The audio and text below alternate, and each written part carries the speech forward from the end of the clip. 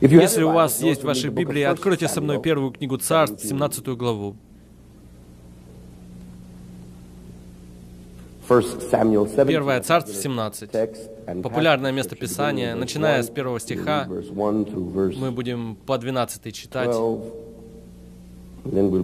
А затем мы начнем читать со стиха 45 до стиха 51.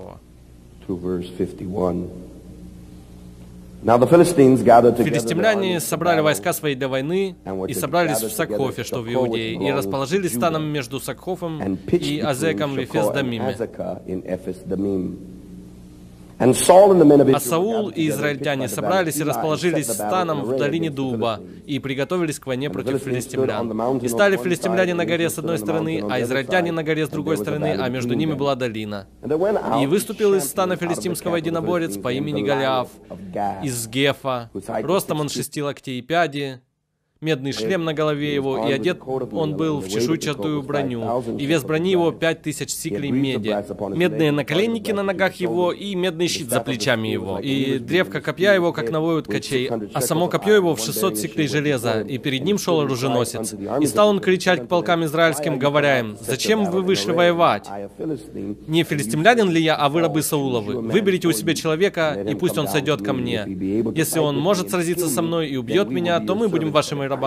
А если же я одолею его и убью его, тогда вы будете нашими рабами и будете служить нам.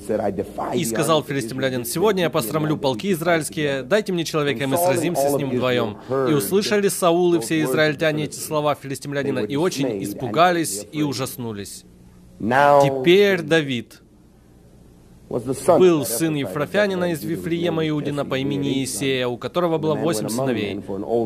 Этот человек в одни Саула достиг старости и был старший между мужами. Стих 45. А Давид отвечал филистимлянину, «Ты идешь против меня с мечом и копьем и щитом, а я иду против тебя во имя Господа Савоофа, Бога воинств израильских, которые ты поносил. Ныне предаст тебя Господь в руку мою, и я убью тебя и сниму с тебя голову твою, и отдам трупы войска филистимского птицам небесным и зверям земным, и узнает вся земля, что есть Бог в Израиле. И узнает весь этот сон, что ни мечом, ни копьем спасает Господь, ибо это война Господа, и Он предаст вас в руки наши. И Он предаст вас в руки наши. Когда филистимлянин поднялся и стал подходить и приближаться навстречу Давиду, Давид поспешно побежал к строю навстречу филистимлянину. И опустил Давид руку свою в сумку и взял оттуда камень и бросил из прощи и поразил филистимлянина в лоб, так что камень вонзился в лоб его, и он упал лицом на землю. Так одолел Давид филистимлянина прощою камнем и поразил филистимлянина и убил его. Меча же не было в руках Давида.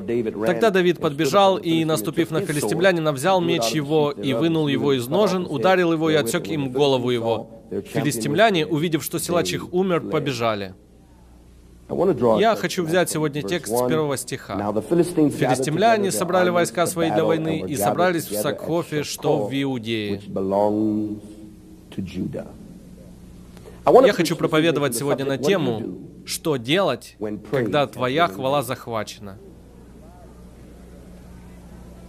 Что ты делаешь, когда твоя хвала захвачено. Первое Царство 17 говорит нам о филистимлянах, расширяющих границы их империи. И теперь они приходят, чтобы воевать с их некогда неприятелем и врагом, соперником Израилем. Из всех мест, где можно было бы собрать войска для войны, филистимляне выбирают стратегически на месте, называемом Сакхов, которое находится в Иудее. Иуда, конечно, мы знаем, означает хвала. На иврите это слово «ядда» пишется «ядахей», что означает «хвала». Протянуть свои руки в благодарении. Корневое слово означает «рука», оно также означает «власть» и «владычество». Ты не можешь хвалить и не получить силу. Вторичный корень слова «ядда», «ядда» без «хей» в конце, означает «быть в близости». Ты не можешь хвалить и не забеременеть. Так что враг понимает, что если он хочет поразить Божий народ, он должен взять единственное реальное оружие, которое у них есть. Я знаю, сейчас мы уловлены всеми этими веяниями, и каждый Новый год печатаются новые книги, и мы приходим в восторг насчет духовного сражения. Это стало модным словечком последние лет пять, но мы сражались задолго до того, как узнали, как это называется. Задолго до того, как мы поняли греческий, иврит, мы знали, что если у вас есть три или четыре человека, и они начинают превозносить имя Бога, то что-то меняется в духовной атмосфере. Итак, Библия говорит, что из всех мест, где филистимляне могли бы собраться, они собрались в Сакхофе, который принадлежит Иуде, потому что враг знает, что если он возьмет твою хвалу, он может поразить тебя. В конечном счете, вся битва — это насчет аспекта хвалы, потому что хвала — это центральный вопрос всей теологии. Теология должна, по сути, называться доксологией, славословием. Ты не можешь вообще-то дать определение Богу, пока не начнешь хвалить Его. Теология рождается из поклонения. Мы сначала поклоняемся, а из процесса поклонения расширяется наше видение Бога, и потом наше понимание Бога становится ясным. Чем больше мы хвалим, тем больше мы видим. Давид говорит, «Возвеличьте все Господа со мной». Возвеличить не означает сделать больше. Как ты можешь сделать Бога большим, если Он превыше всякого измерения? Возвеличить означает изменить восприятие того, кто смотрит на объект.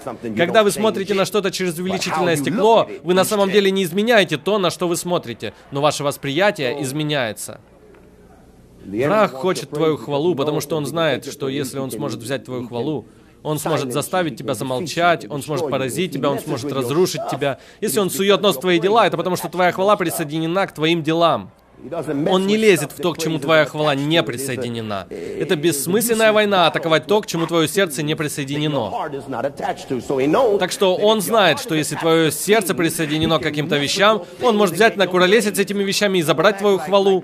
Не ведите себя так, будто такого никогда не случалось с вами. Не ведите себя так, будто вы не оставались дома однажды в воскресенье, потому что у вас порвались чулки, или у, у вас не завелась машина, а вы даже никому не попросили помочь вам. А из-за того, что ваш холодильник сломался, вы пропустили или изучения Библии. Врагу нужно только прикоснуться к некоторым вещам в нашей жизни, чтобы заставить нашу хвалу замолчать. Когда мы действительно верим так, как мы поклоняемся, тогда Христос действительно становится центром нашей радости. Когда все, что мы делаем, основано на Нем, а не на том, что мы можем получить, тогда война врага умолкает. Библия говорит, что когда Иисус сражался с дьяволом посреди пустыни и было словесное сражение, дьявол сказал, «Приди и склонись предо мной, и поклонись мне». Иисус сказал, «Господу Богу твоему поклоняйся, и Ему одному служи». И следующий Стих говорит, «И дьявол ушел». Дьявол не уйдет, пока аспект поклонения не разрешится, но когда ты говоришь ему, что он не получит никакой хвалы, он прекратит воевать. Он прекратит войну. Итак, Библия говорит, что филистимляне из всех мест, где они могли собраться, они собрались в месте, называемом Саков, который принадлежит Иуде. Они пришли украсть хвалу Израиля, потому что они понимали, что сила Израиля в их Боге. И их Бог совершал великие подвиги через тех, кто хвалил его. Они собрались на месте, называемом Сакхов. Сакхов на иврите означает грань. Это означает разделять, помещать разделение. Когда враг может отделить тебя, отделить мужа от жены, отделить детей от родителей, отделить церковь от их пастора, когда, когда враг может отделить тебя, он может разрушить тебя. Его величайшее оружие — разделение, потому что это самое легкое и результативное оружие. Чтобы разделить людей, не требуется много. Просто закатить глаза или цокнуть языком.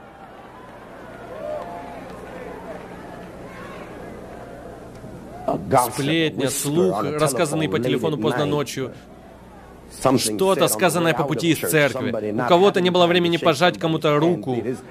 И это оружие, не требующее много амуниции. Им можно причинить много проблем. И иногда у нас в церкви большое внимание маленькому, а маленькое внимание большому. Грех есть грех. Всякий грех — это грех, и всякий наказывается смертью. Всякий грех будет судим Богом. Но есть разные степени греха в том смысле, что грех по-разному влияет на нас. Мы обращаемся с некоторыми грехами как с намного более опасными, чем с другими. Мы заставили замолчать блудников, потому что они совершили грех. И мы правильно сделали, они совершили грех, и грех, который они совершили, был против их плоти. Но есть другой грех, который хуже, чем блуд, потому что блуд просто приносит беспорядок девушке и парню в постели, а если ребенок рожден, то самое худшее всем троим. Но есть другой грех, называемый разделение. Отмечайте тех, кто производит разделение. Мы толерантны к ним, мы позволяем им сидеть в нашем духовенстве, держим их в нашем совете директоров, и мы позволяем им петь в наших хорах. Но Библия говорит, не заставляйте блудника замолчать, восстанавливайте его. А производящее разделение — это как рак, потому что это оказывает влияние не только на тебя и меня, но это влияет на каждого, кто слушает нас и слышит нас. Иногда нам нужно. У нас есть фотограф, который фотографирует проповедников сегодня, но каждой церкви нужен фотограф, который делает фото человека, который производит разделение. Эту фотографию надо дать каждому ашеру и сказать, если эта козявка попытается сюда войти, остановите его у дверей. Вам нужно иметь фото в классе новых сотрудников, а также среди новых обращенных и сказать, если этот человек позвонит тебе, если этот человек зайдет к тебе домой на вечернюю молитву, если этот человек попытается заскочить к тебе, вот тебе 5 долларов, сделай определитель номера, и если он звонит, не поднимай. Потому что они произведут разделение. Потому что враг понимает, что если он сможет скормить ложь тебе насчет твоего лидера, когда время твоего освобождения придет, эффект веры людей Божьих, молящихся за тебя, определяется тем, что ты думаешь о человеке Божьем. Или тем, что ты слышишь о них, когда ты не рядом с ними. И поэтому, если ты позволяешь себе слушать ложь и сплетни и разделяющие вещи, то когда этот человек Божий возложит руки на тебя, когда тебе поставят диагноз рак, ты не думаешь, что это его руки пустые. А это твоя голова наполнена кучей беспорядка. Потому что эффективность дара основывается на твоем восприятии. Можешь ли ты воспринять дар Божий на человеке Божьем? Итак, разделение — это не атака против лидерства, это атака против твоего собственного освобождения. Я не могу позволить себе слушать всякую ерунду ради меня самого.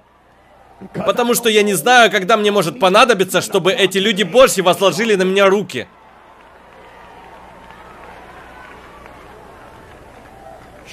Сакхов. Разделять.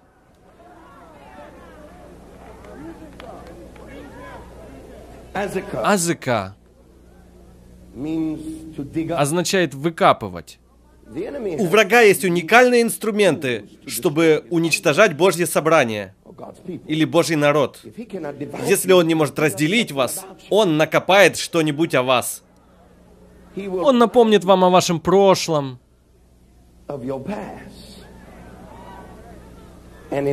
И он проинформирует других ребят о вашем прошлом. Он сделает вклад в ваше прошлое, чтобы, чтобы разрушить ваше завтра. Потому что азыка означает выкапывать. Враг хочет выкапывать. Он хочет, чтобы мы оставались застрявшими там, где мы есть, чтобы мы никогда не стали теми, какими Бог хочет нас видеть. Прежде чем я закончу проповедовать сегодня, вы узнаете, что иногда люди помнят вашу прошлую жизнь. Так что вы вечно не можете продвинуться дальше того, как о вас помнят в прошлом.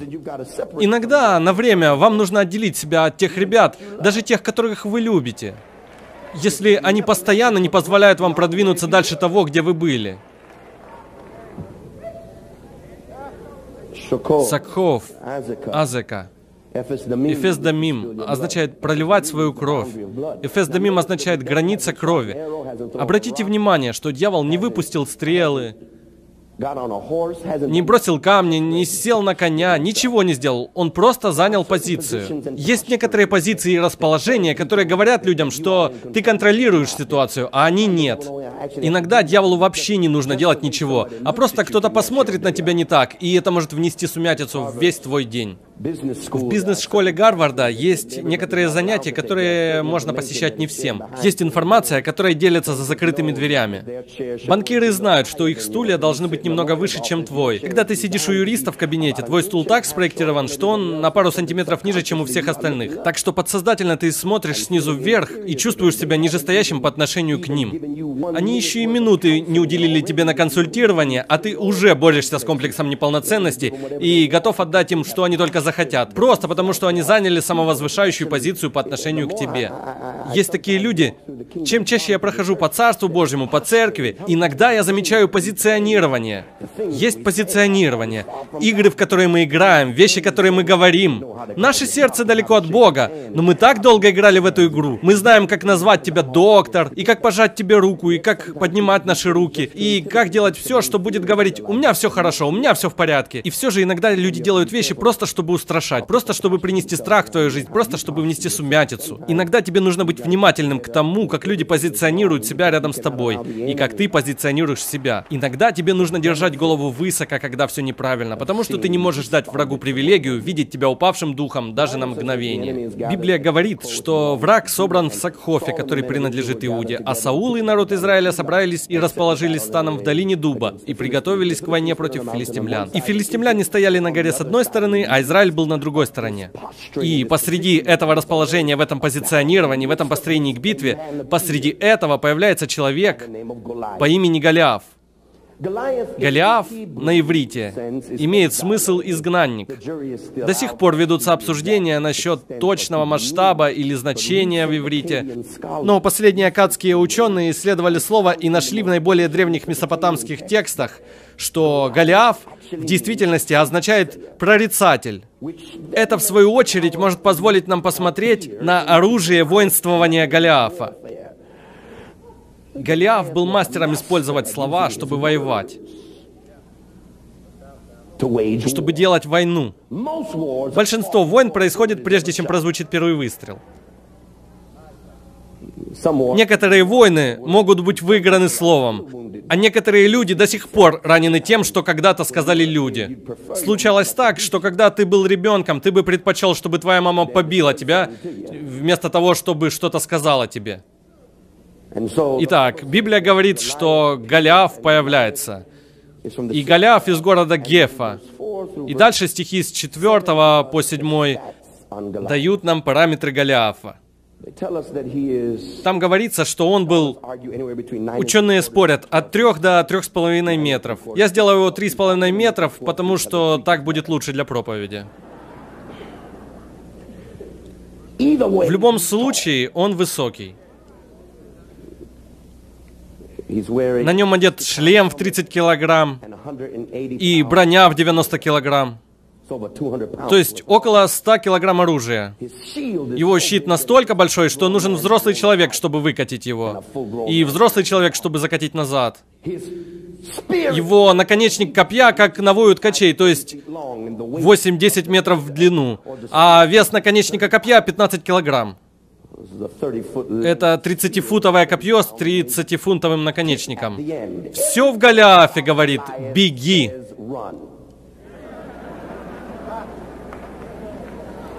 Голиаф предназначен для того, чтобы когда он ступает на поле, ты поднимал белый флаг. Сама его внешность настолько ошеломляющая и внушительная, что в тот момент, когда ты увидишь его, вся сила воли, любое выражение лица, какое бы ты ни принял, какую бы песню хвалы ты не спел, прежде чем прийти сюда, все это было бы разрушено грандиозностью противника, с которым ты встретился.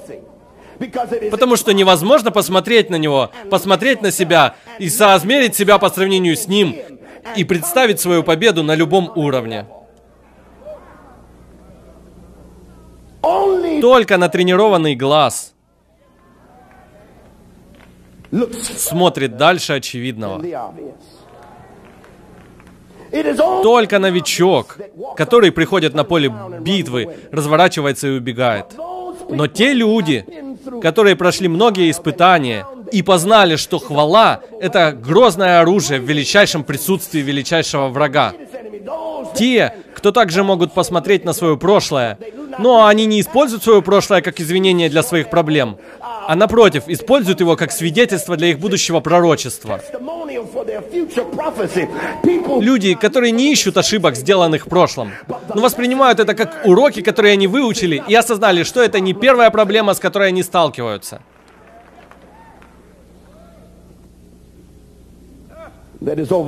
Это поразительно. Когда ты смотришь на Голиафа, ты поражаешься тому, как он высок, насколько он большой, насколько опасный. Но любой, кто когда-либо изучал медицину, или у кого медицинское образование есть, или изучал образование костей, или генетическое строение, ты начинаешь понимать, что есть нечто по природе неправильное с Голиафом. Потому что Голиаф не является продуктом из шестой главы Бытия. Голиаф не гигант, который был результатом ангела, сожительствовавшего с женщиной женщиной. Этот гигант — это не получеловек и полуангел. Те ангелы были уничтожены Богом. Этот древний гигант — это причуда природы.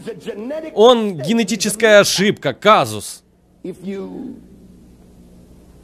Если ты станешь твердо и посмотришь на Голиафа, ты увидишь, что его колени, они больше, чем надо. Ты увидишь, что его руки и суставы деформированы, потому что человеческое тело не предназначено расти до таких размеров и иметь дело с деформированным телом такого большого человека, да еще и столько тяжести наверх добавить, ты будешь поражен. И ты узнаешь, что Голиаф, хоть и большой, но у него есть проблемы. У него артрит. Его колени барахлят. Кости в сильной боли.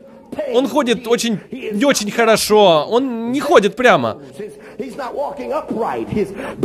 Он предназначен, чтобы смотреться, как грозное оружие. Но если ты остановишься и посмотришь немного поближе, ты поймешь, что этот человек имеет дело с разрушающей болезнью что хоть он и гигант, он казус природы, он выглядит угрожающе, он выглядит убийственно, но когда ты противостанешь ему, тогда ты увидишь человека, который уже в полном раздрае, и добавить 200 фунтов оружия сверху, он выглядит как устрашающее оружие, он большой, но он медленный. Он большой, но он не такой уж опасный. Положите сверху 30-футовое копье весом в 30 фунтов. Оно выглядит опасным, но оно не опасно. Оно неустойчиво. Если бы он бросил его, оно бы опрокинулось. Оно не предназначено для сражения. Это, в свою очередь, позволяет нам узнать кое-что насчет Голиафа. Голиаф не предназначен сражаться. Он никогда не намеревался сражаться. Все в Голиафе было для того, чтобы удержать тебя от сражения. Понимаете, враг знает, он никогда не победит в битве один на один. Он знает, что если на ринге ты и он, то это не ты и он, потому что ты никогда не сражаешься один.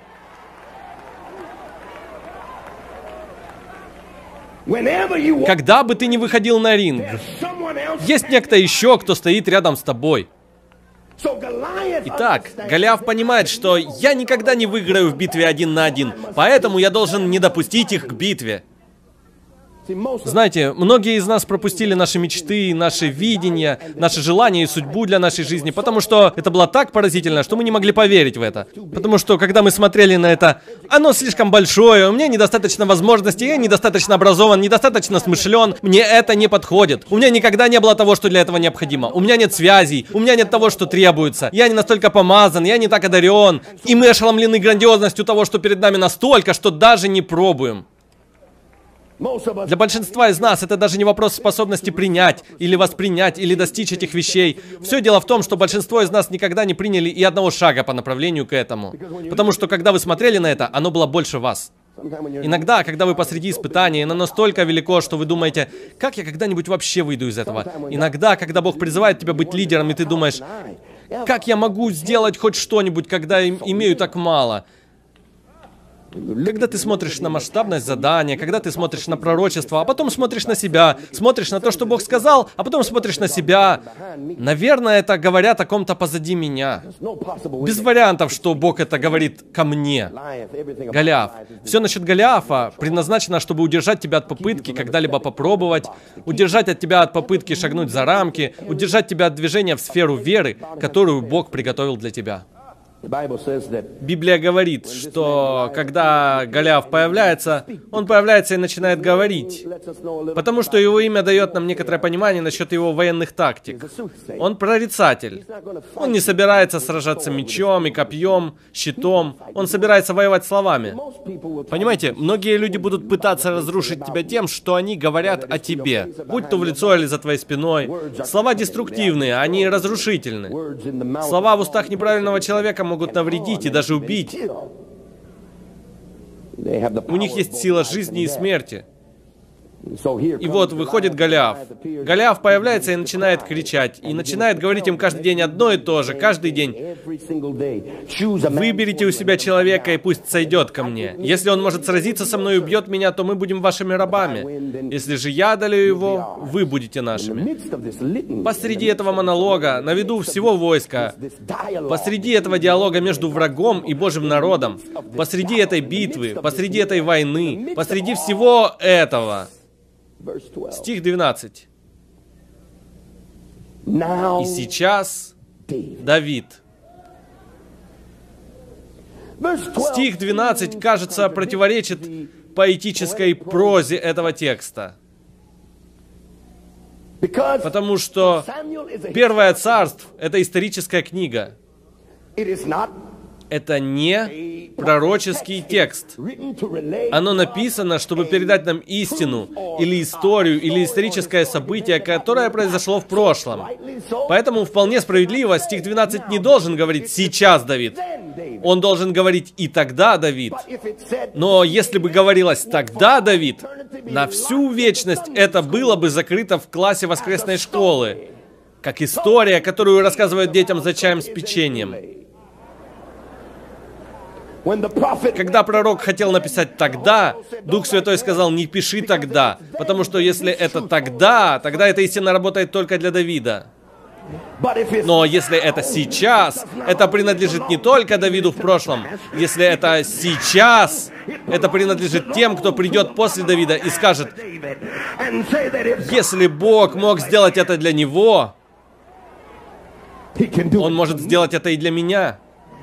Сейчас уникальное слово в том смысле, что сейчас единственное слово, которое может передавать вечность. Вечность не может быть понята в смысле времени, потому что время не вечно. Потому что время и вечность — две отдельные вещи. То, что во времени, не может быть вечным.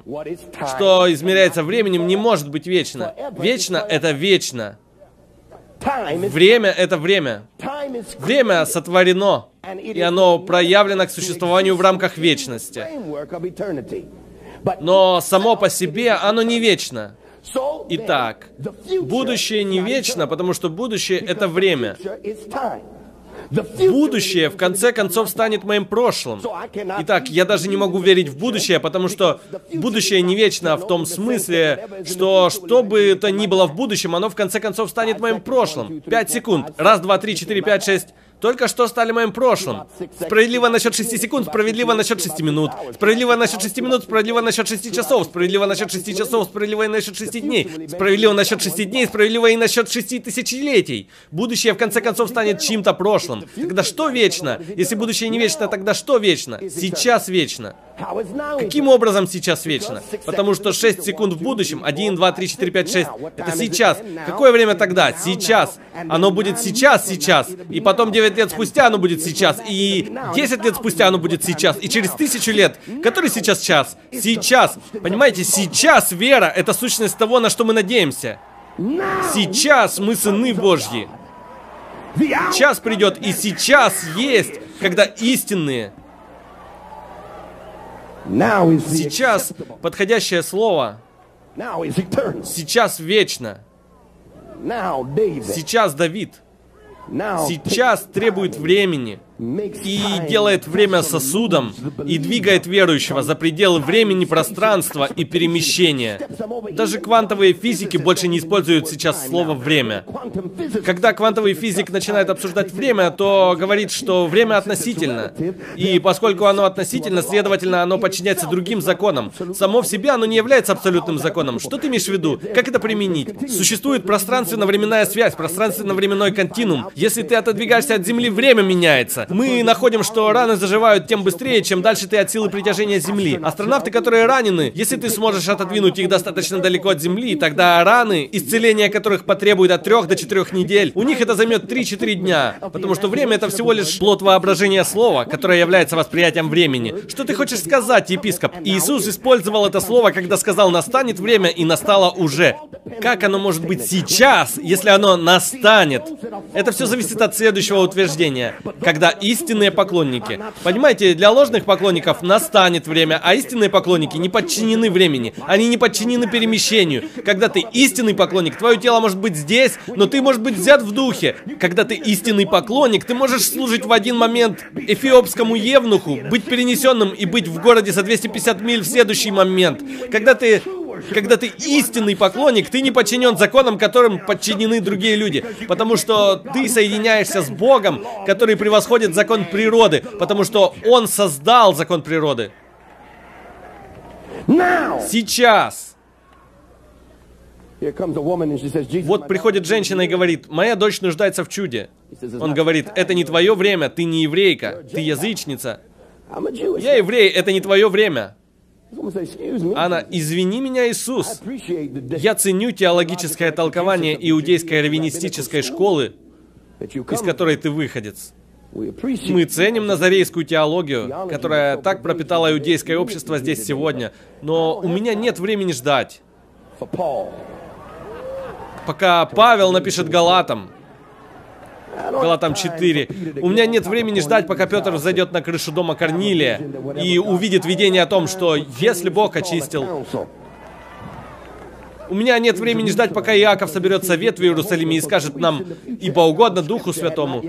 Итак, она заглядывает в будущее и берет Писание, которое еще не было цитировано, взяла пророчество, которое еще не пришло в исполнение, взяла откровение, которое еще не было открыто, принесла истину, что нет ни Елена, ни Иудеев настоящее, и сказала, что даже собаки едят крохи со стола Господ. Я знаю, кто начал это своеволие.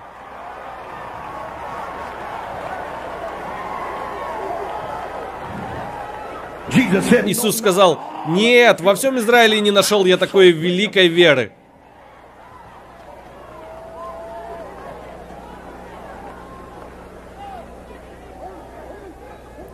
Сейчас, Давид.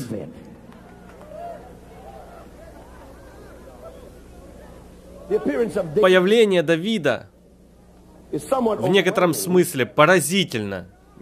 Потому что, читая текст, Давид появляется в стихе 15, возвращающимся из дома Саула, чтобы пойти заботиться об овцах отца в Вифлеем. Легко оставить овец, чтобы пойти в царский дворец, но человек должен быть уникальным, иметь уникальное качество, уникальную характеристику, чтобы оставить царский дворец и пойти заботиться об овцах твоего отца. Легко двигаться вверх, но только уникальные люди могут двигаться туда и обратно. Только те люди, которые хвалят в тайне, могут чувствовать себя комфортно на публике. Люди, которые хвалят в тайне, могут сидеть с президентом за столом или купить хэппи мил по дороге домой. Люди, которые хвалят, могут носить от Армани или от твоей мамы.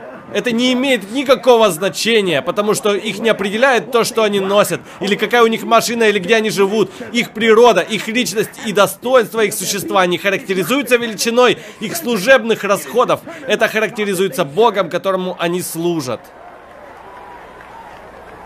Некоторые из нас, будь у нас редкая возможность стать главным священнослужителем для Саула, автором церковно-житейских книг, лицом, представляющим канон, или музыкальным служителем, Кем бы вы ни хотели стать, будь у нас уникальная привилегия стать личным музыкальным служителем Саула, будь у нас такая привилегия, правда в том, что мы бы позволили этому настолько войти в нашу голову, что мы бы подумали, что у нас есть на это право. Но Давид не чувствовал, что у него есть право, когда он играл для Саула. Потому что Саул был только царем Израиля. А задолго до того, как Давид играл для царя Израиля, он играл для царя царей.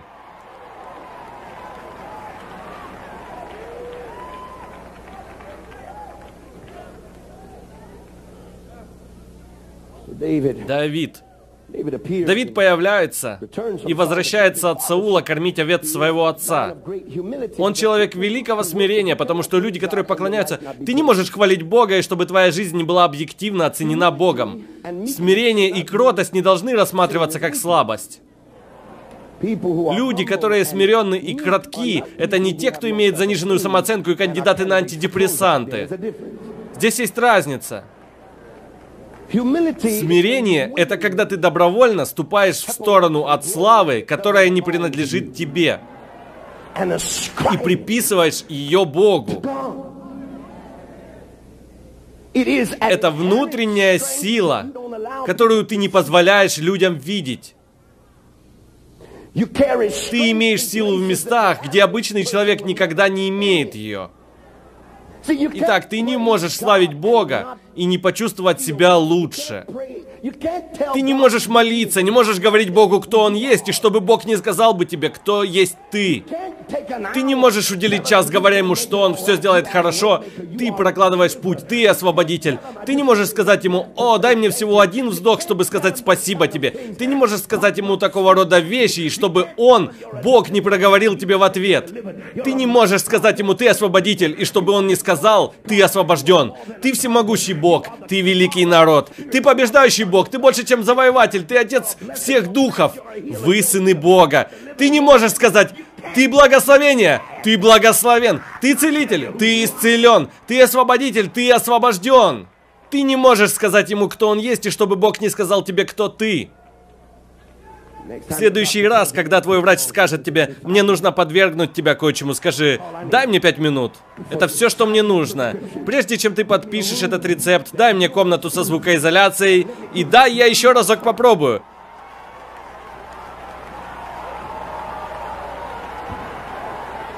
Когда ты приходишь в его присутствие и начинаешь возносить его имя, и начинаешь говорить ему, кто он есть, я здесь, чтобы пророчествовать тебе. Ты не выйдешь из этой комнаты таким, как ты вошел. Ты мог войти подавленным, но ты выйдешь освобожденным.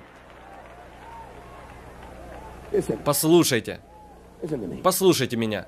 Давид вернулся от Саула кормить овец своего отца в Вифлееме. И у Давида было уникальное качество, одна из величайших вещей Большинство из нас не замечали этого. Каждый раз, когда смотришь на Давида, Давид служит. Служит. Церковь уменьшила или унизила святость служения до того, что сейчас мы служим, чтобы получить. У нас есть скрытые мотивы. Мы не служим, потому что это правильно. Мы служим, потому что мы хотим позицию и известность. Мы служим, потому что мы живем опосредованно через успех других людей. Потому что мы не верим, что мы можем совершить это сами. Мы становимся подхалимами, а не сынами. Мы становимся оруженосцами, а не сынами. У некоторых были проблемы с понятием оруженосца в последнее время. Мы не очень часто используем его в наших церквях, но есть что-то неправильное в том, чтобы называть человека оруженосцем. Понимаете, оруженосцы уходят в разгаре битвы. Сыновья остаются.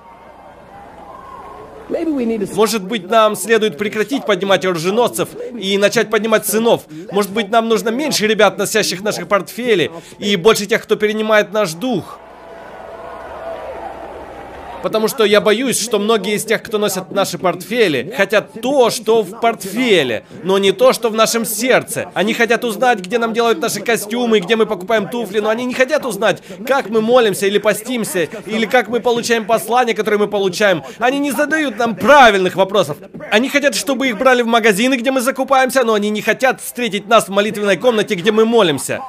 Они не против вводить наше авто, чтобы их видели в наших хороших машинах, но они никогда не хотят встречать нас в офисе в 12.00, когда у нас нет других дел, как только открыть наши Библии, читать Слово и сказать, «Боже, если ты не проговоришь ко мне, мне нечего сказать». Они изучают видимый внешний вид, но никогда не получают проникновения в сущность жизни, которая создала успех, которого они не постигают. Давид был сыном, и он служил, потому что он любил служить. Вот Давид, он играет для Саула, он служит Саулу. Теперь он собирается пойти позаботиться об овцах его отца. Когда он приходит туда, чтобы позаботиться об овцах своего отца, его отец говорит, отнеси обед к своим братьям. Итак, каждый раз, когда вы видите Давида, он заботится о Сауле, он заботится о делах отца, и он заботится о делах братьев. Теперь вот проблема. Все это, все это было после, после того, как он был помазан. Где-то по ходу дела мы подумали, что когда ты получаешь помазание, тебе не нужно служить. Где-то мы почувствовали, что ты получил пророчество, и теперь ты пытаешься получить визитку и белый воротничок. Но чем больше помазания, тем больше цена, которую нужно заплатить у ног тех, кому ты служишь. Где-то по ходу дела от того, что мы сказали одно пророчество правильно, потому что ты поднял полного человека и сказал, что у него проблемы со спиной. И ты уже готов идти начинать церковь. Стать национальным евангелистом. You can't afford to cheat because you ain't been preaching long enough. You're just an evangelist.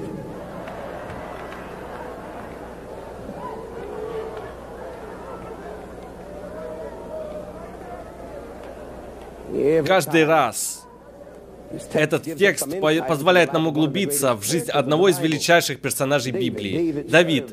Давид служил и не боялся служить, и никогда не стремился ни к чему другому, как только к служению. Он не использовал помазание в качестве извинения для своих собственных неправильных действий. Он не использовал утверждение пророка и подтверждение неба, чтобы найти извинения. Он продолжал делать то, что он всегда делал. Он никогда не переставал делать то, что он делал. Потому что где помазание находит тебя? Понимаете, если вы меняете, если вы меняете место, где помазание нашло тебя, понимаете, помазание стратегически находит человека, который находит свое место. Если ты меняешь свое место, то переданное помазание не имеет никакой ответственности вне этого места. Библия говорит в Псалме 132, что есть заповеданное благословение, которое сходит на горе Ермон. Благословение находится на горе Ермон. Если ты сойдешь с горы, помазание не идет с тобой, потому что помазание присоединено к предназначению. А предназначение — это твое место назначения. Shoot a mosquito. Kickstarter. Come on. Давайте, говорите сейчас на языках. That spells Eddie.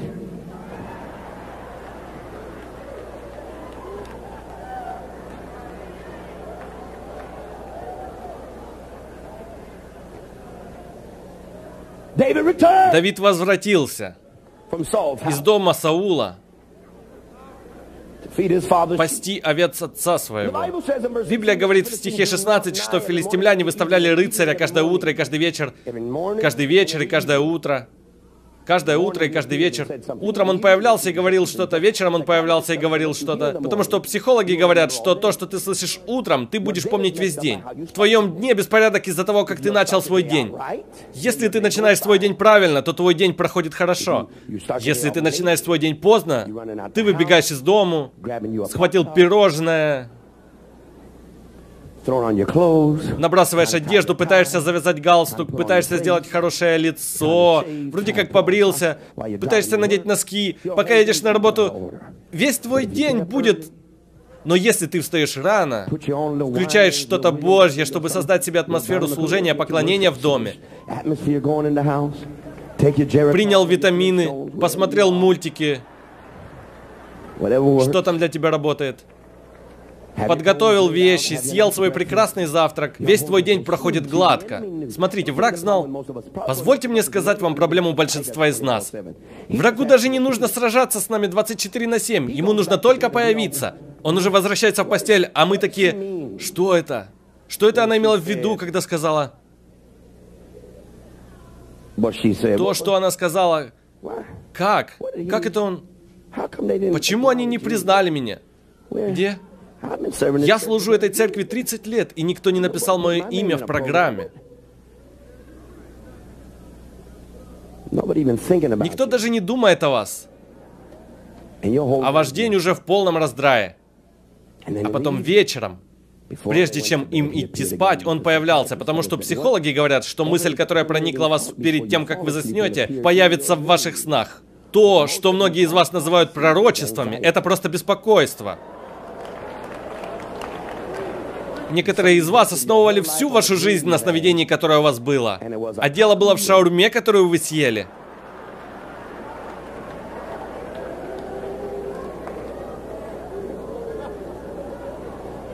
Получается, что теперь приходится иметь дело не только с гигантами днем, но и с гигантами, которые появляются в их снах, потому что враг придет, чтобы украсть твою мечту.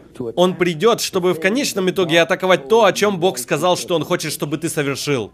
Он приходит, чтобы страхом оказать влияние на твой мыслительный процесс. Так что ты будешь слишком бояться совершить то, о чем Бог пообещал. Библия говорит, дайте мне пару секунд, я почти закончил свой второй пункт.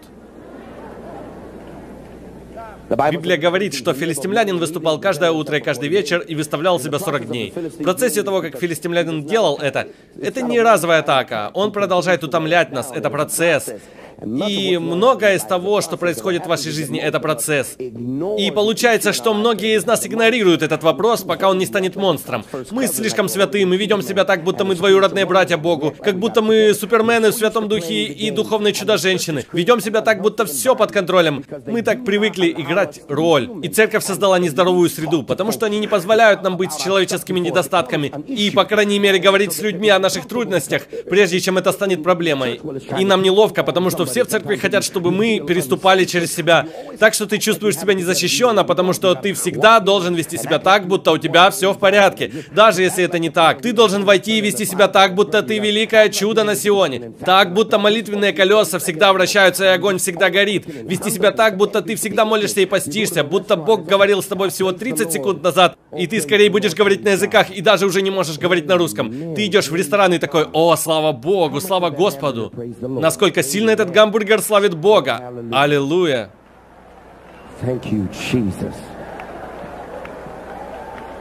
Не бывает настолько глубоких.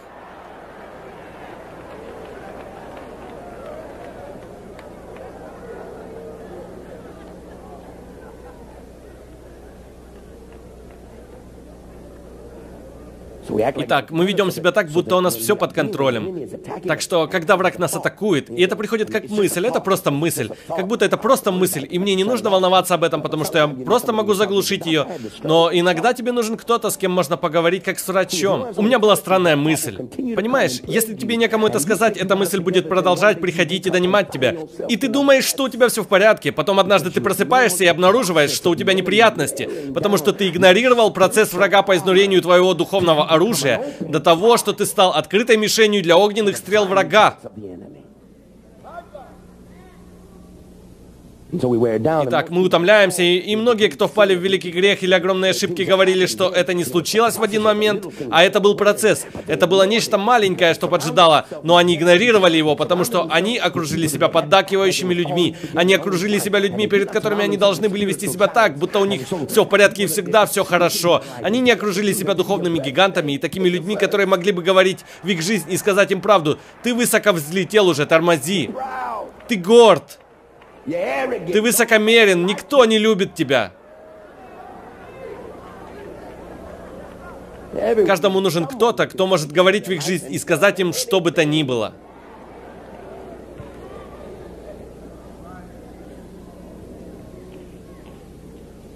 Мы недавно потеряли великого гиганта в Царстве Божьем, матерь Эстеллу Бойд. Уникальное качество жизни этой матери было не столько в помазании, сколько в нестандартности. Она не боялась сказать кому бы то ни было, независимо от их статуса, что Бог сказал.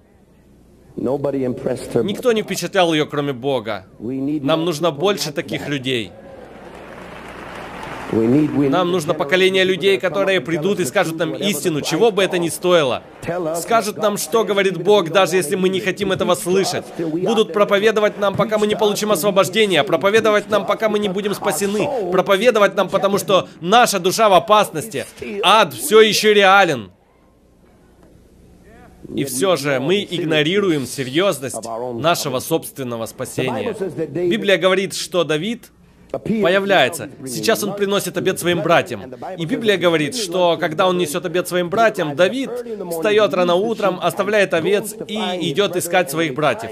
И когда он находит братьев, он видит выстроенных филистимлян. Армия напротив армии. Давид оставляет повозку, и стих 23 говорит, когда он начинает разговаривать с людьми, которые собраны вместе, вышел Голиаф из армии филистимлян. И Давид услышал слова, которые говорил Голиаф.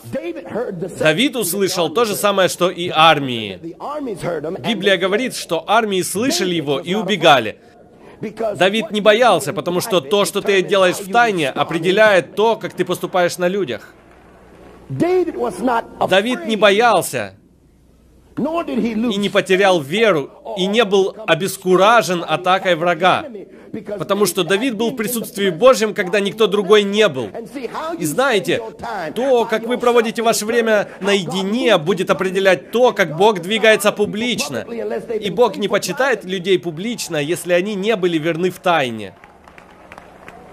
Давид реагирует по-другому. Из-за того, где он проводил свое время. Понимаете, Давид был другим. Он отличался от всех своих братьев. Никто не любит своих братьев. Когда Самуил вышел найти царя в доме Исея, Библия говорит, что когда он пришел туда, Исей привел старшего сына Елиава. Привел Елиава, потому что Елиав выглядел как царь, и ходил как царь, и говорил как царь, и имел стан, как у царя. А Бог сказал, я не сужу о человеке по его внешнему виду, я сужу сердце человека. Я не призываю людей, которые выглядят так, будто они достигли гармонии духа. Я призываю тех, кто достигли гармонии. Я говорю к сердцу. Они приводят семерых сыновей. По очереди все сыновья испытаны в глазах Иисея. И Иисей почти забывает, что есть еще один сын. И пророк вынужден спросить его, есть ли у тебя еще сыновья? Бог сказал мне, что есть царь в твоем доме, а эти не цари. И Иисей должен был подумать. Есть. Но это не может быть он. Знаете, Давид ездит на маленьком желтом автобусе. Он приезжает немного позже, чем все остальные. Давид, то, что мы так любим называть здесь особенный. Почему ты говоришь так? Ну, когда мои остальные сыновья играют в филистимлян и израильтян, Давид в углу играет песни, поет, разговаривает сам с собой.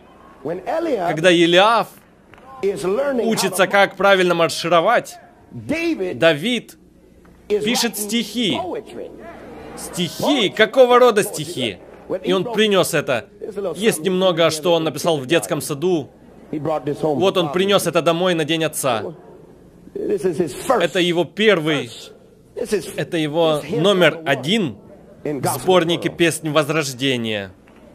Благословен человек, который не ходит на совет нечестивых и не стоит на пути грешников и не сидит в собрании развратителей, но в законе Господа отрада его.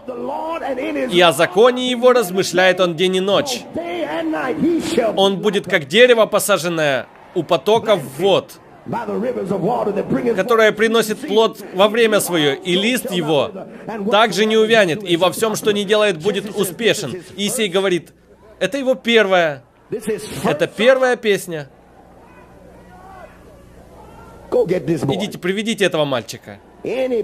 Любой мальчик, любой ребенок, который может так славить, Ясное дело, Бог присутствует в его жизни. Видите, Давид был другим. То, как ты проводишь свое время в тайне, легко приносить хвалу, когда корг, и аранжировка, и классные ударные, и хор стройно поет. Легко, когда собралось 10 тысяч человек.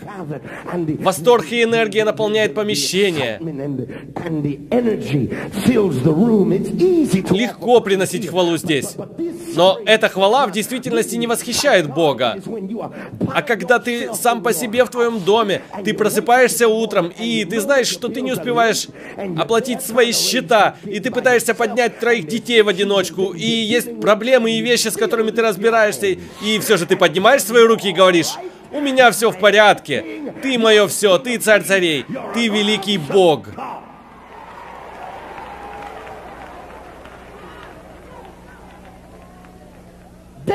Давид приходит туда. И когда он приходит туда, Библия говорит, ему начинают говорить об этом филистимлянине. И Давид задает вопрос, что будет сделано человеку, который убьет этого филистимлянина? Это очень важно, потому что Давид понимал, что Битвы не стоят того, чтобы сражаться, если воздаяние никуда не годится. Вопрос в том, что я получу. Потому что некоторые из нас сражались в битвах и ушли ни с чем. Мы вложили свою жизнь и не получили ничего взамен. И большинство из нас проводят жизнь, сражаясь не имеющих ценностей и воздаяния битвах, которые ничего не дают нам. И Давид говорит, вопрос не в том, будет ли у меня победа или нет. Вопрос в том, стоит ли оно того, чтобы я сражался. В некоторых битвах не следует сражаться. Только если будет хорошее воздаяние.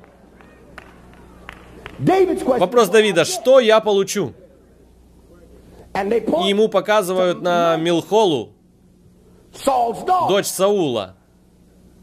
И Давид.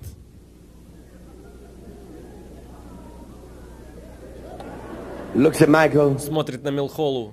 Говорит, да будет благословенно имя Господа. Где этот филистимлянин? Потому что Давид любил красивых женщин. Когда Давид увидел эту девушку, он знал, Бог был в этом. Не видите себя так, будто Версавия была проблемой Давида. У Давида была проблема задолго до Версавии.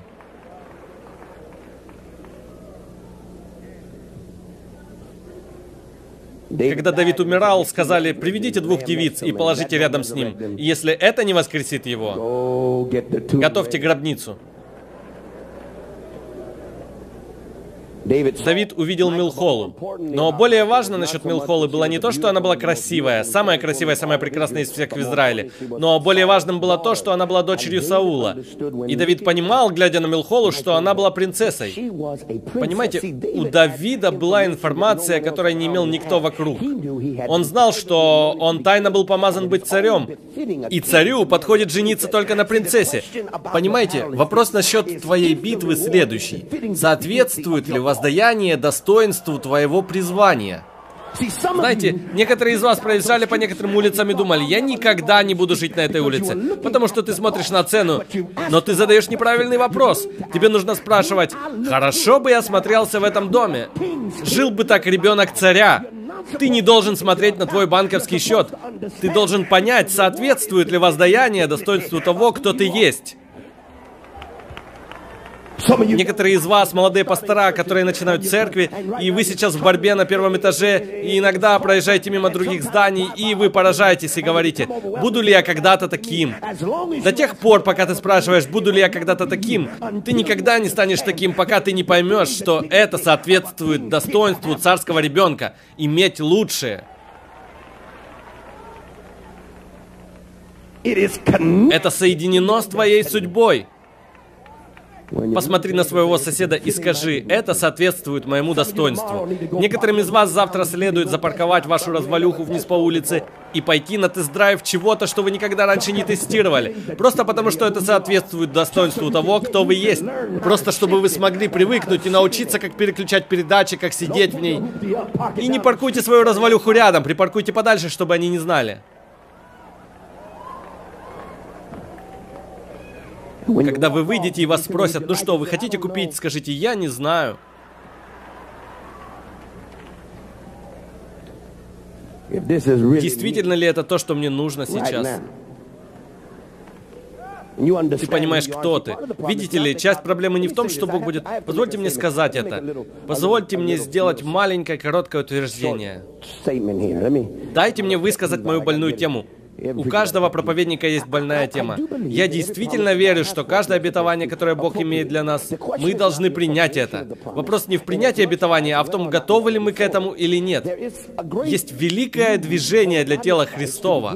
Начать верить в то, что по праву их.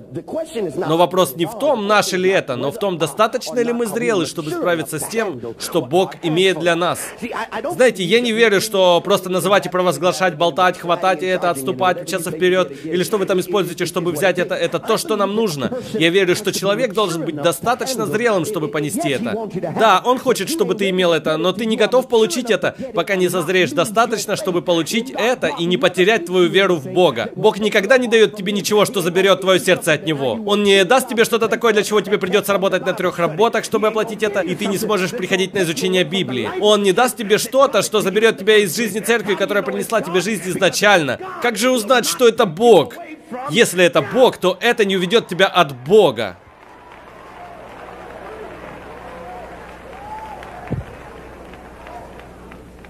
Итак, вам нужно понимать, что пока ты ребенок, это не будет приносить тебе пользу. Писание говорит, и сейчас я говорю, наследник, доколе в детстве ничем не отличается от слуги, хотя и господин всего.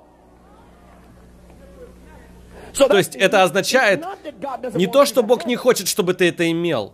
Пока ты не зрелый, ты не можешь этого понести. Бог не говорит «нет». Бог говорит «не сейчас». Ты ничем не отличаешься от слуги. Я никогда не забуду. Я был маленьким ребенком и воспитывался в Майами. У нас была западная индийская служанка, которая работала в нашем доме. И вот как я был исполнен Святым Духом и был приведен в храм Вифиль, я был наполнен Святым Духом. Но когда я был там, эта женщина, которая заботилась о нашем доме, это было около часа ночи, я залез на стуле и беру печеньки. Ем, потому что это мой дом. И тут она входит на кухню и говорит, она была из Очериос, Ямайка. Она была из небольшого города и говорила с присущим акцентом.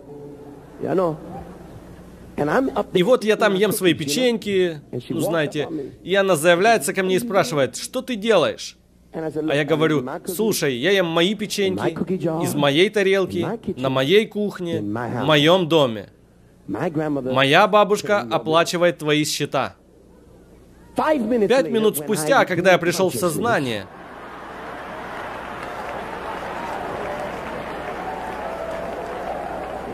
Здесь мне в самом деле нужно сделать утверждение. Черные бьют своих детей не так, как белые.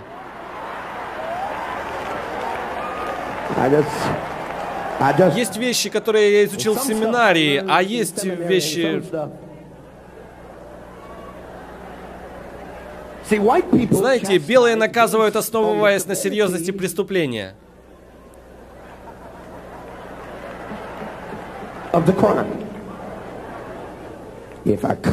Если я ругнусь, я получаю один раз. Если украду, три раза. Если пререкаюсь, получаю пять. Черные бьют на каждый слог, пока не устанут. Разве я не говорила тебе?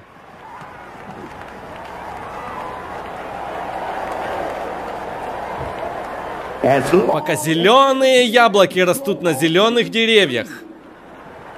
Твоя бабушка может уволить меня хоть сегодня, но...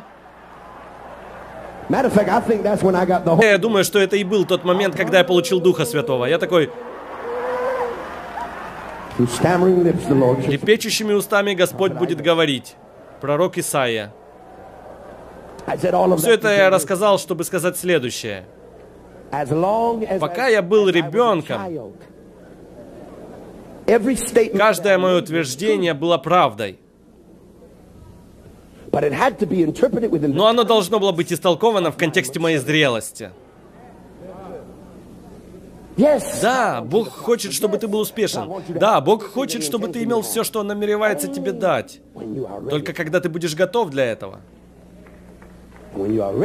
Когда ты готов для этого, тебе не нужно умолять об этом. Он легко высвобождает это в жизни тех, кто готовы к этому. Давид, очевидно, был достаточно зрелым, чтобы иметь дело с ответственностью, которая появлялась для него. Что будет сделано тому человеку, кто убьет этого филистимлянина? Что я получу? Кто этот необрезанный филистимлянин? Теперь вопрос завета идет в ход, потому что вопрос здесь, имеет ли он обетование. У него нет обетования, у меня есть. Обрезание — это символ завета. Нет завета — завет. Мы побеждаем. Так просто. У него нет обетования, у меня есть обетование. Знаете, многие из нас становятся подавленными просто потому, что мы забываем обетование, которое Бог дал нам. И мы забываем, что мы живем... Саул пытается убить Давида несколько раз. Саул был вениамитянином. Он был не левитом, он был вениамитянином. В суде говорится, что вениамитянин мог бросить камень из пращи в волос и не промахивался. Они идеально целились. Вениамитяне на генетическом уровне имели умение быть лучшими воинами в Израиле. Однажды они были так сильны, что почти истребили целое колено. Они были воспитаны быть хищными зверями. И однажды в их глазах появилась ненависть и злость. Они были неудержимой силой. Саул так разозлился и разгневался на Давида, что бросил свое копье, чтобы убить Давида. Это копье никогда бы не промахнулась. Саул не может промахнуться. Проблема была, и прицел Саула не сбился. Проблема в том, что стояла перед Давидом. Это было обетование. И когда копье прилетело, чтобы убить Давида, пророчество сказала «не сейчас». Могу я пророчествовать? У некоторых из вас по дороге в церковь сегодня была машина, которая направлялась к вашей машине, и вы прямо проехали и даже не увидели ее, но пророчество проскочило, отшвырнуло эту машину и сказала «не сейчас». У некоторых должен был появиться рак, и в твоем теле прямо сейчас есть клетка, пытающаяся мутировать, но пророчество говорит «не сейчас». Когда у тебя есть обетование от Бога, Ничего, что делает враг, не может остановить Бога. В следующий раз, когда дьявол скажет, твое служение окончено, у меня есть обетование, твоему браку конец, у меня есть обетование, твоя жизнь окончена, у меня есть обетование, и ты не можешь сделать ничего, пока у меня есть обетование. Мое обетование, мой завет будет поддерживать меня. С обетованием ты можешь совершить больше, чем с хорошим влиянием. С обетованием ты можешь совершить то, что не могут люди с образованием с властью, с оружием и с деньгами. Все, что тебе нужно, это обетование. Люди, имеющие обетование, люди, имеющие завет. Давид сказал, у этого человека нет завета. Почему вы боитесь? Вы люди завета, он не человек завета. Я рассказывал вам год назад и снова расскажу. Я летел из Билокси в Миссисипи, в Джексонвиль, во Флориде на маленьком самолете с пропеллерами. Самолет попал в шквал, тропический шторм и начал падать. Маленькая пожилая женщина сидит рядом со мной. Самолет падает, нас трясет, хлопают маленькие пропеллеры. Женщина хватает меня, впивается своими маленькими ногтями мне в руку и говорит, мы умрем. Я говорю ей, замолчите, этот самолет не может разбиться, потому что я на нем. И у меня есть некоторые пророчества, которые еще не сбылись. У меня есть обетования, которые сказал мне Бог, которые еще не исполнены. Бог делает некоторую работу, сказал кое-что, что еще не исполнилось. И если этот самолет и упадет, вам лучше бы держаться поближе ко мне, потому что я единственный, кто из этого выберется.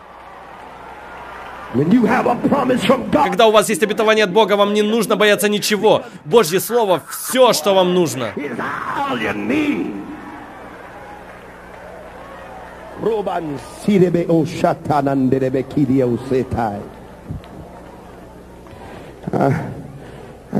Мне нужно убить Голиафа.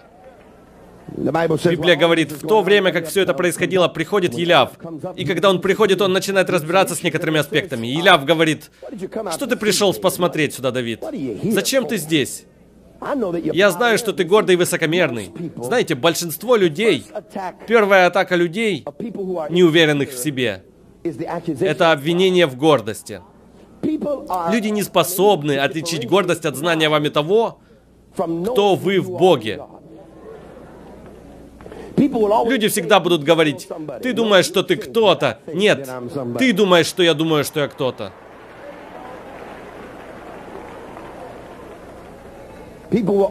У людей всегда будет проблема с тобой, когда они будут приходить к осознанию, что ты отказываешься оставаться соединенными с неправильно функционирующими людьми и людьми, тянущими вниз. Елиаф, причина, по которой Елиаф ненавидел Давида, была в том, что Елиаф был трусом. Хотя он выглядел как царь. Хотя и наружность у него была в порядке. У него не было внутренней дисциплины. Так что, когда появляется Давид, вот Елиаф, который выглядит как воин, прячется.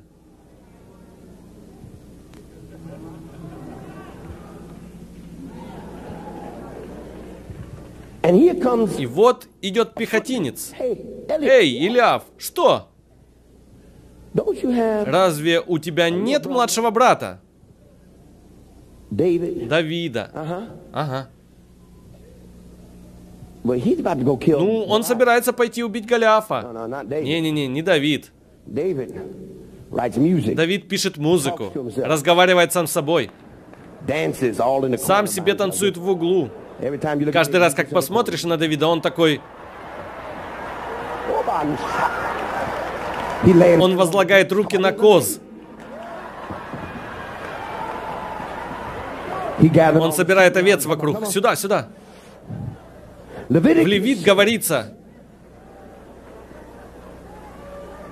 что если будет пятно или порог на вас, то вы недостойны для пасхальной жертвы.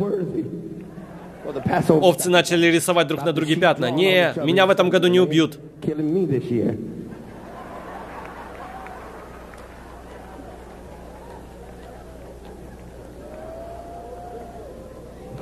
Он заботится об овцах. А сейчас он здесь, собирается сразиться с Голиафом. И причина, почему Иляв презирает Давида в следующем. Потому что Иляв был трусом. Но его трусость была спрятана, потому что он окружил себя трусами. Бездействие незаметно до тех пор, пока оно окружено другими бездействующими людьми. Тебя не будут ненавидеть до тех пор, пока у тебя есть проблема, и у него есть проблема, и у вас всех есть проблема. Но в тот момент, как кто-то из вас скажет, мне надоело тусоваться с кучкой ребят, которые ничего не имеют и никуда не стремятся, ты шагнешь из круга и попытаешься сделать что-то получше, они начинают завидовать тебе, начинают презирать тебя, потому что ты принял решение начать двигаться в следующее измерение. Но у некоторых ребят есть корыстный интерес в твоем падении. Некоторые люди, которым ты окружил себя, хотят, чтобы ты упал, потому что в тот момент, когда ты успешен, их провал, их бездействие, их вялая посредственная сущность станет очевидна. И они не могут спрятаться, когда ты рядом, но в тот момент, когда ты отделяешься, они становятся ответственными за свой успех. Елиаф мог прятать свой страх до тех пор, пока не появился Давид. И тогда каждый стал говорить, твой брат собирается пойти сразиться. О, Элиаф, старший сын Есея.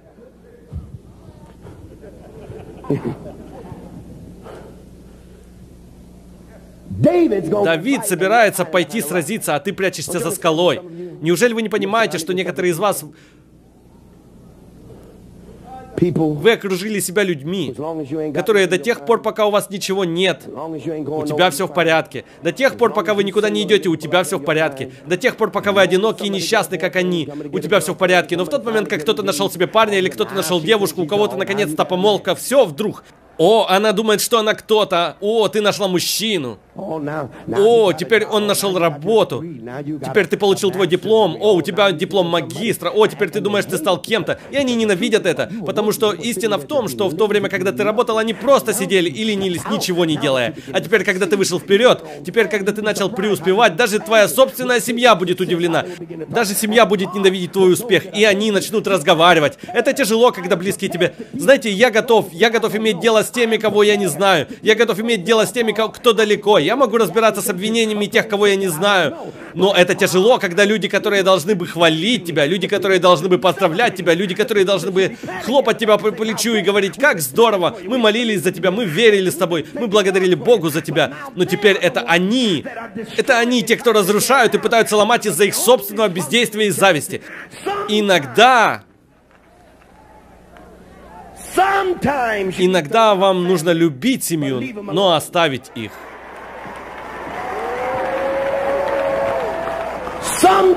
Иногда, поскольку вы не можете выбирать свою семью, вы обязаны любить их, но вы должны стратегически избирать своих друзей и удостоверяться, что они направляются туда же, куда и вы. Вы не можете быть в завете со всеми, потому что не все стараются жить свято. Выяснил это, когда путешествовал, заводил знакомства и служил им. Некоторые люди имеют деньги и успех в великую миру славы, но они совсем не те люди, с которыми хочется проводить время. С ними не хочется поехать в отпуск. Я не хочу проводить с ними время, потому что я не люблю их речь за закрытыми дверями. Я не люблю все время разговаривать о деньгах, о одежде и так далее. Иногда я хочу, чтобы проповедник попросил меня помолиться. Иногда кажется, что я хочу, чтобы у кого-то была личная заинтересованность в служении говорить о вещах Божьих, а не постоянно о плотских. Я не для того тренировался всю свою жизнь и жил свято, и старался сдерживаться и хранить разум чистым. Стремился быть человеком, которым Бог призвал меня быть, чтобы потерять это из-за никчемного проповедника, который имеет успех, но не имеет святости. Святость — это все еще правильно. И без нее ты не увидишь Господа.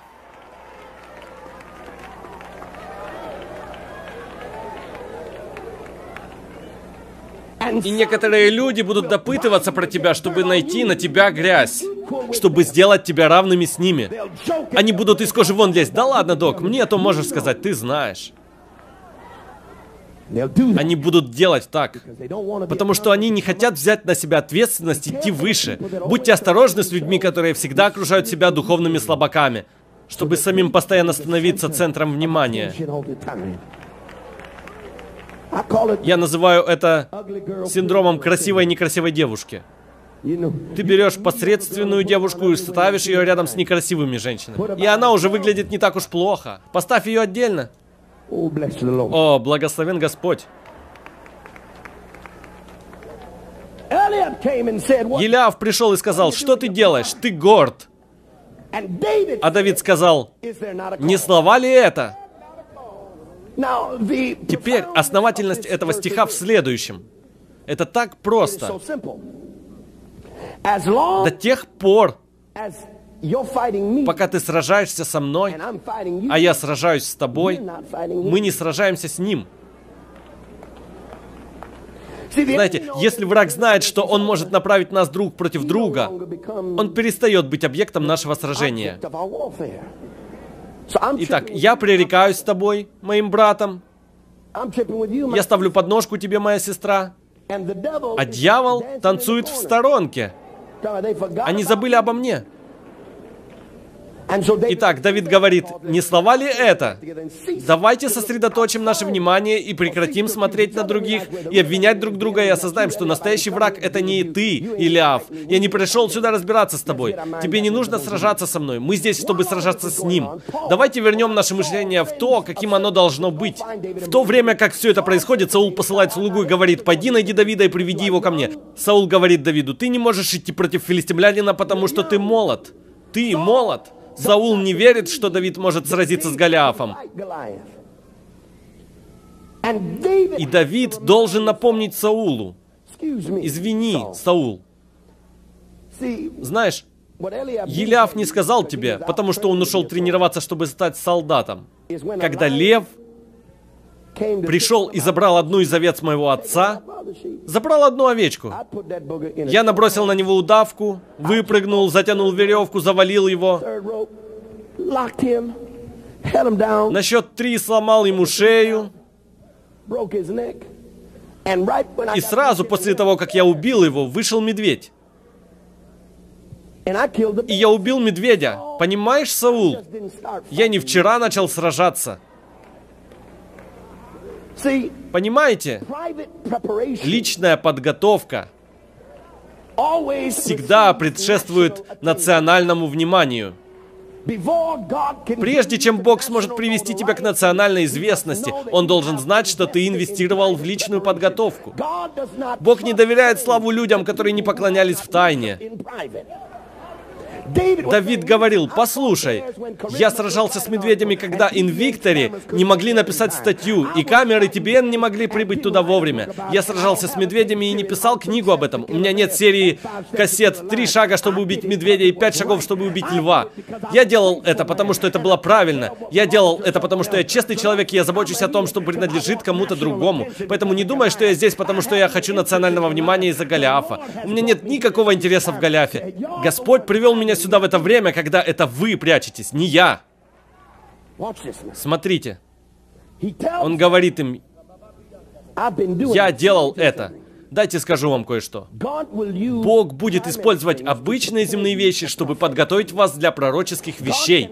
Бог не может доверять вам ваше пророческое предназначение до тех пор, пока вы не будете верными в вашем земном предназначении. Если вы не были верны в вашем земном предназначении, Он не может доверять вам ваше пророческое предназначение. Большинство из нас хотят исполнить пророчество в нашей жизни, но мы не верны в земных вещах, принципиальных вещах. Дайте я сделаю это настолько понятным, что вам нужен будет кто-то, чтобы понять это неправильно. Подойдите ближе. Поближе. Теперь смотрите, это так просто, что вам нужна чья-нибудь помощь, чтобы понять неправильно. Смотрите. Круг правой, круг левой.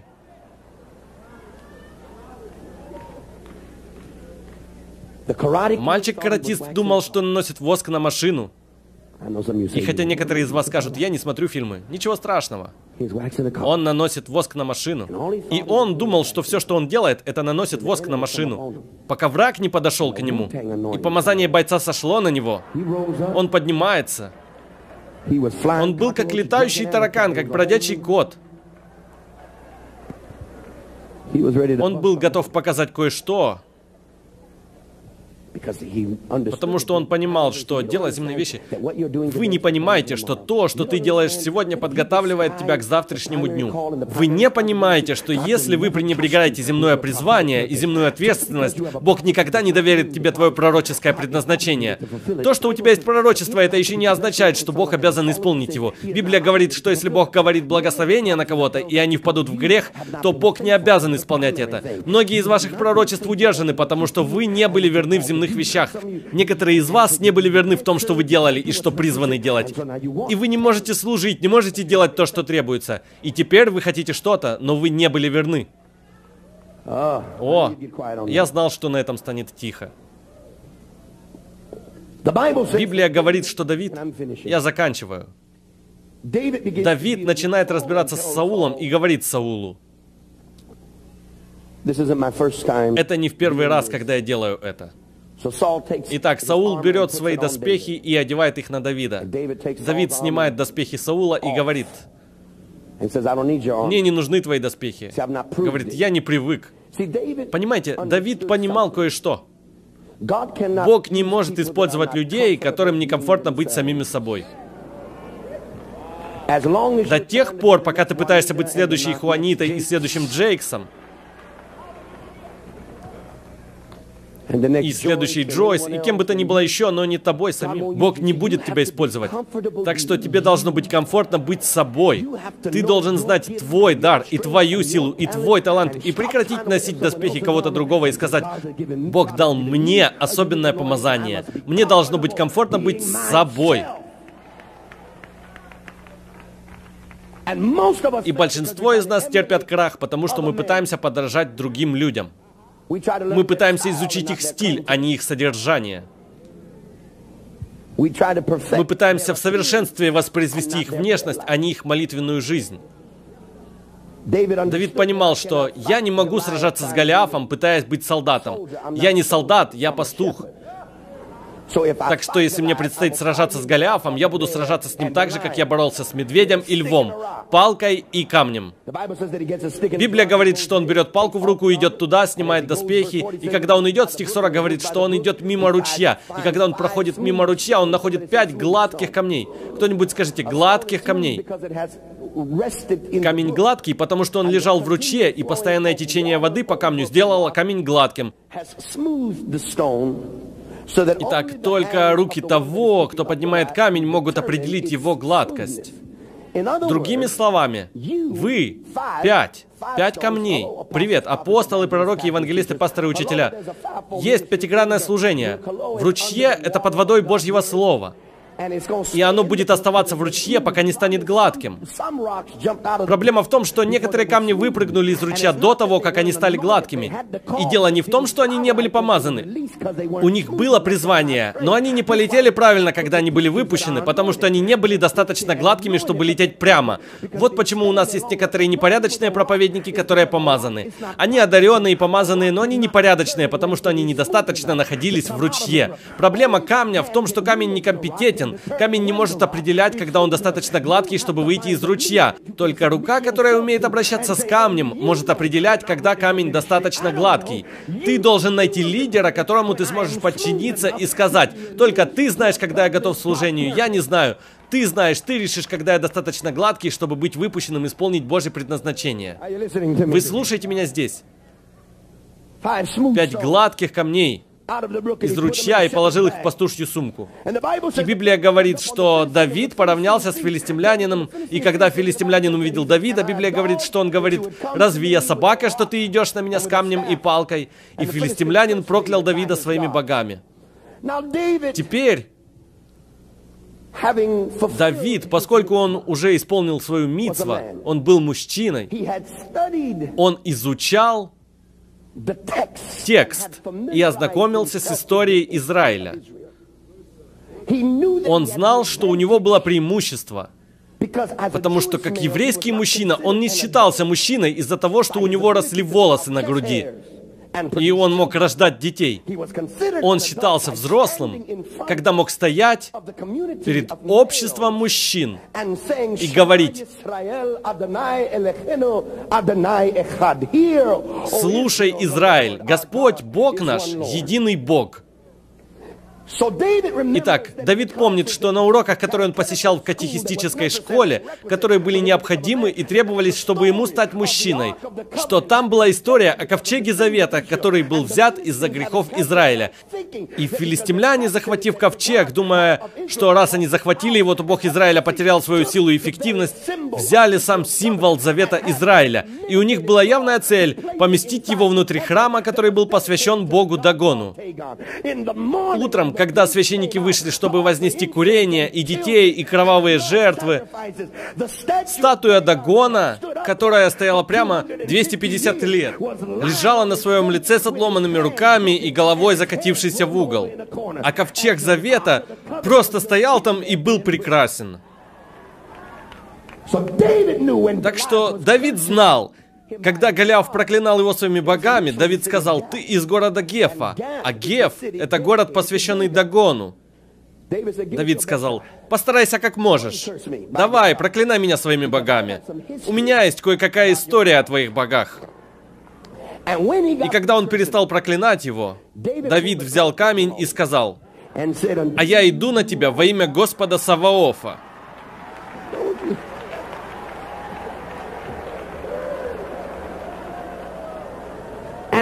И развернул проклятие.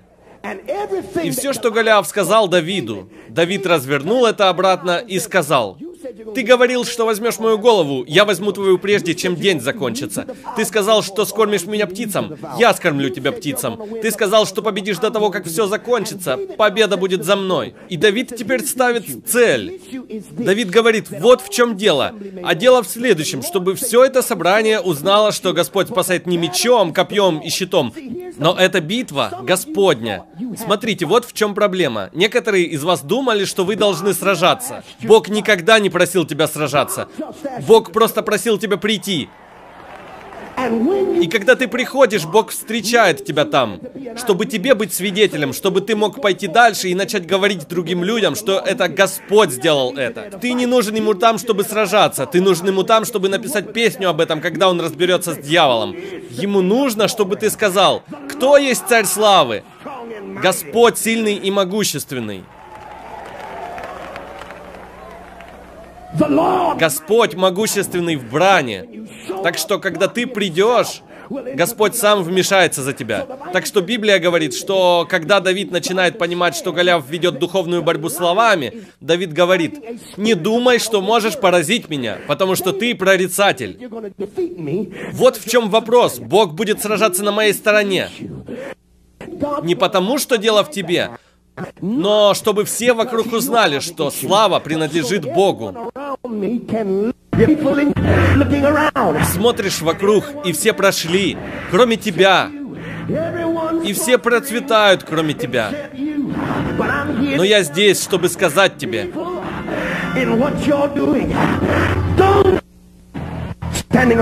Встаньте все, где вы есть. Дух Святой только что проговорил ко мне.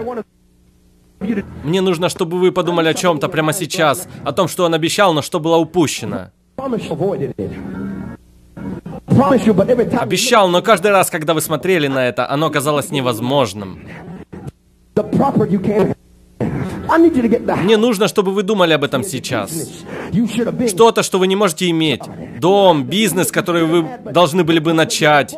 Подумайте о чем-то, что вы должны были иметь, но вы избегали этого, потому что это было слишком велико для вас. И когда я сосчитаю, мы делали это раньше, мы снова сделаем это. Мне нужно, чтобы вы сделали нечто пророчески. На счет три я хочу, чтобы вы шагнули вперед и были как человек, который входит в глубокую хвалу. Вам не следует молиться. Послушайте, вам не нужно просить об этом, но хвалить так, будто вы только что уже получили это. Вам нужно вести себя так, будто ваш телефон зазвонил в церкви, и вам пришлось побежать в сторонку, и кто-то сказал «Слушай». Знаешь этого мужа, который ты думала никогда не получит спасения? Знаешь, этот врачебный отчет, который говорил, что у тебя есть то же самое, от чего умерла твоя мама и ее мама, мы этого не находим. На счет три я хочу, чтобы сделали этот шаг и начали хвалить так, словно Бог исполнил это. И когда ты славишь из твоей позиции, когда ты славишь из этого, не просишь за это, Бог начинает немедленно вмешиваться. И если ты веришь в это, если ты веришь в это, готовы? На счет три. Мне нужно, чтобы вы воздали Богу хвалу и услышать, верите ли вы. Сколько из вас уже имеют в мыслях что-то прямо сейчас? Подумайте об этом, подумайте. Раз, два, три.